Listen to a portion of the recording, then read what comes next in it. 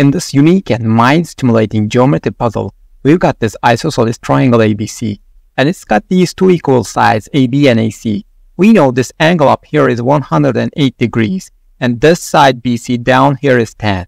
And we need to find the area of this triangle ABC. So if you want to try this on your own, now is the time to pause the video because I'm starting to solve it right now without using fancy trick formulas whatsoever. First of all, we know this is an isosceles triangle, so it's pretty clear that these two angles both measure 36 degrees. I'll draw this line here such that this angle over here is 36 degrees too.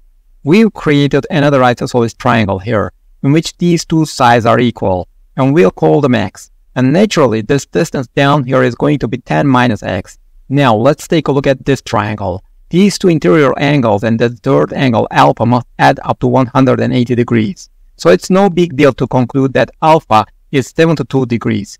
Obviously, this triangle is an isosceles triangle, so these two sides must be equal, and this distance AC must also be 10 minus x. We already know that AB and AC are equal, so it turns out AB is 10 minus x as well. Now, these two angles must add up to 180 degrees, so this angle over here has to be 108 degrees. By the way, let's put this point here and let's name it D. Now, this triangle DBA is similar to this triangle ABC.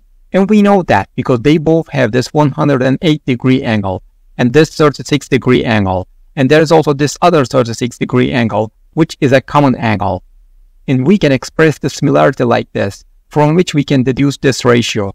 AB over BC equals DB over AB. Let's cross multiply that and we get this equation. We already know that AB is 10 minus x, DB is x, and CB is 10. So let's plug all those values into our equation like this. We can expand the square of the quantity 10 minus x like this. And let's take this 10x and move it over here where it becomes minus 10x. We now have this quadratic equation which looks tricky to solve. And I know what you're thinking. The infamous quadratic equation formula. But no, I've got another trick. I'll simply add 125 to both sides. And we've got this new equation.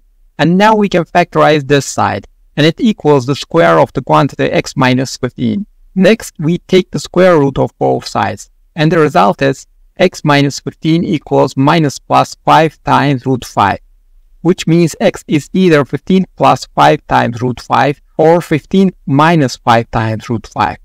Now, if we take a look at this side BC, it becomes clear that x must be smaller than 10 and 15 plus 5 times root 5 is obviously larger than 10. So we rule out this value, and we are left with x equals 15 minus 5 times the square root of 5. Let's tuck away this super important finding up here, and let's go to this side and change this x to 15 minus 5 times root 5. Let's do the math, and we get this value for the side AB.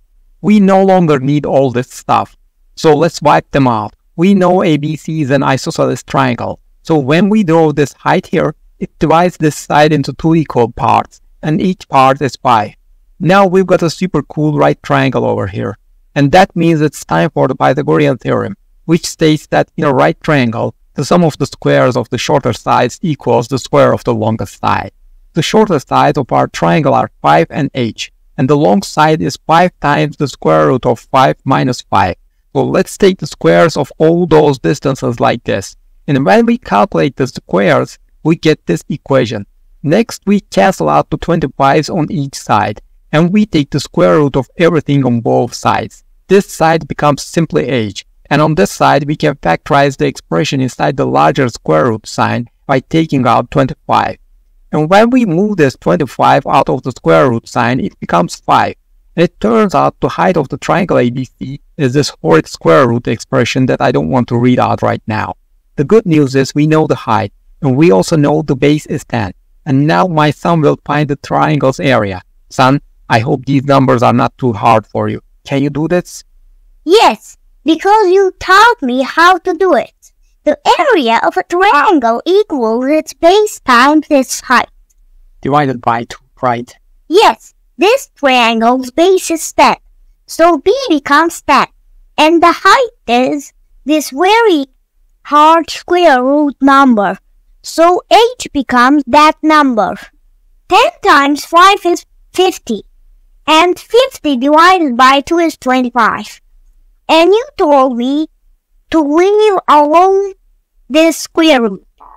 Yes, because you would need a calculator for that. So there we are, people. We found the area of the triangle ABC. And it's 25 times the square root of the quantity 5 minus 2 times root 5. I never do calculations beyond this point, but one of my viewers asked me to find the decimal number, and what my viewers want is important to me. So only for this time, I'm going to calculate the answer in decimals. And it's 18.16356, rounded to 5 decimals. So if you enjoyed this video, make sure you push the like button, and don't forget to subscribe. There are many super cool math problems I want to show you in the future, and trust me, you don't want to miss them. Have a good day, and see you soon.